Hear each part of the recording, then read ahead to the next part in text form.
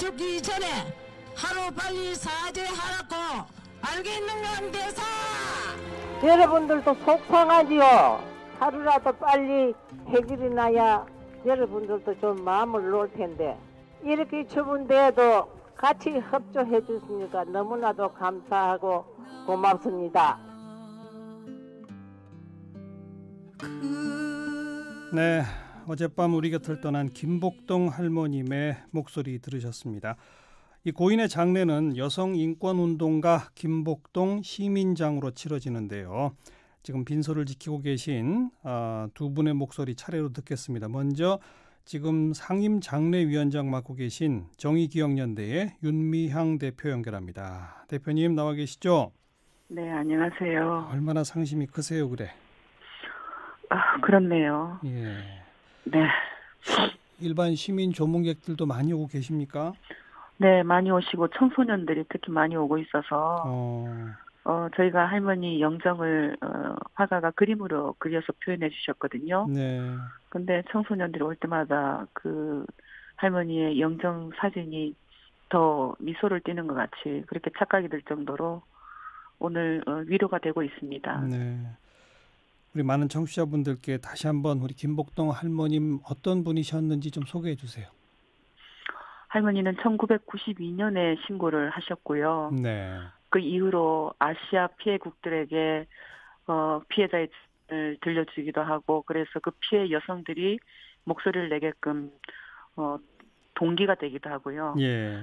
세계 어, 인권대회에서 증언을 하기도 하고 미국 의회, 미국 정부를 만나서 유럽, 영국, 뭐 노르웨이, 가해국인 일본은 수십 번 정말 안 가본 안 가본 나라가 없는 것 같아요. 네. 늘 가실 때마다 어, 관광이나 여행이나 이런 것은 전혀 정말 1분 1초도 안 하시고 네. 오로지 한 사람이라도 더 많은 학생들에게 더 많은 기자들에게 더 많은 사람들에게 알려야 된다라고 활동을 하셨어요. 예. 그러니까 피해자를 넘어서서 인권 운동가로 평화 운동가로 지금은 심지어는 우간다나 콩고에서 그 전쟁에서 성폭력 피해를 입은 여성들이 김복동 할머니에게 김복동 할머니는 우리의 마마, 우리의 엄마, 우리의 영웅, 우리의 희망 그렇게 어 뭐라고 할까요 할머니를 어, 칭찬하고 격려하면서 예. 우리가 할머니 때문에 삽니다.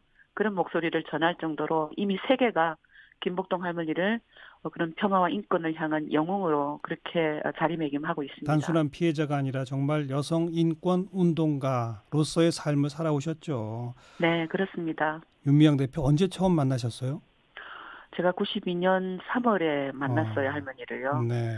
어, 할머니가 어, 다대포 해수욕장 근처에서 작은 식당을 하고 계셨는데 그때 이제 신고를 하셨고 신고를 하심으로 인해서 어, 형제가 한 분은 절교까지 할 정도로 그런 어, 어려운 상황에도 불구하고 피해를 다 드러내셨고 예. 그때부터 계속 정말 할머니하고는 제가 참 할머니께 감사하는 거는 어, 할머니가 안 계셨더라면 지금까지 우리 이 운동이 이렇게 올 수 있었을까?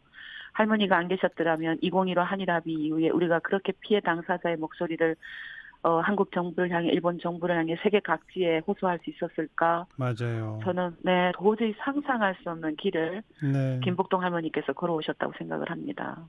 마지막 말씀 어떤 말씀 남기셨습니까? 아 여전히 할머니는 아 정말 가슴이 아픈데요. 사실은 어, 의식이 없는 상태에서 그 강한 그 아, 진통 진통제로 그 의식이 없이 계속 잠을 주무셨어요. 어, 그런데 어제 오후 한 5시경 눈을 부릅뜨시고 계속 우리를 찾아서 할머니 병상 주변에 모였더니 예. 굉장히 낮은 그러나 힘이 굉장히 얕은 목소리로 계속 계속해줘 계속해줘. 어, 일본 정부에게 계속해줘. 그리고 그 제일조선학교 계속 어, 도와주자 그러시고 마지막 또 굉장히 긴 이야기를 하셨는데 못 알아들었어요. 네. 네. 이제 마지막 한 말씀이 정말 일본 정부를 향해서 나쁜 놈들, 일본 음. 정부 나쁜 놈들.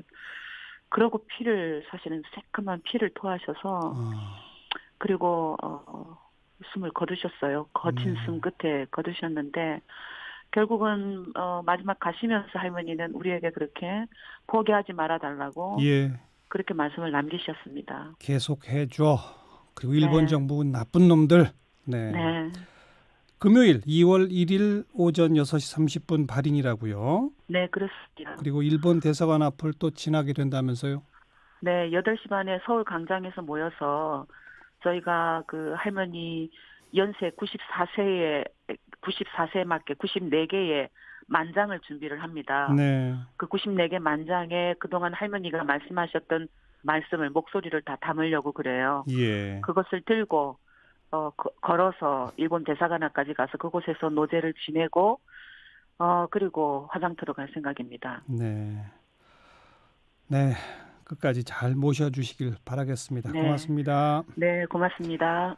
이 장례 상임 장례위원장 맡고 계신 정의기억연대 윤미향 이사장이었고요.